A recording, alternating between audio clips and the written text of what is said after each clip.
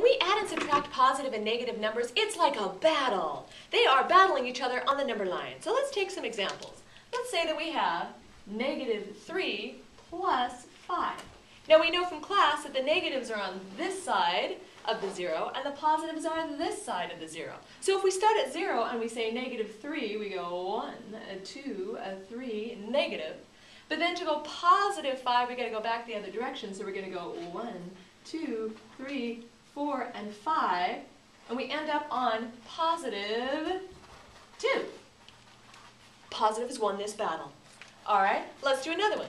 Let's say uh, negative 2 minus 4. All righty?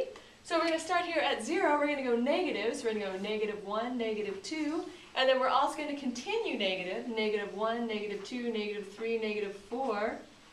And we ended up on negative 1, 2, 3, 4, 5, and 6. Negative 6. And negatives won this battle. And let's do one more. Let's say positive 5 minus 2. So, we're going to start here at 0. We're going to go positive 5. 1, 2, 3, 4, 5. Now we're going to go negative 2. 1, 2.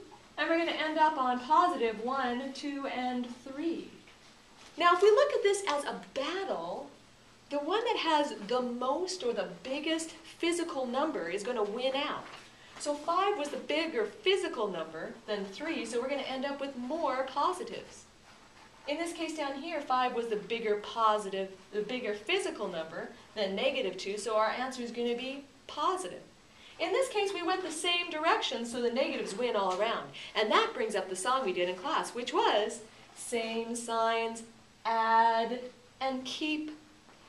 Different signs, subtract, and keep the sign of the larger number, then you'll be exact